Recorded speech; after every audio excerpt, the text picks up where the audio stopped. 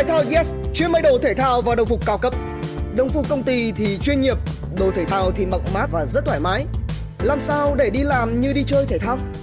Kết hợp đồ thể thao và đồng phục công sở đó là đồng phục vải thể thao. Vải thể thao mát rượi có giãn tối đa, độc quyền từ thể thao Yes. Đặc biệt nhận may số lượng ít từ 6 áo.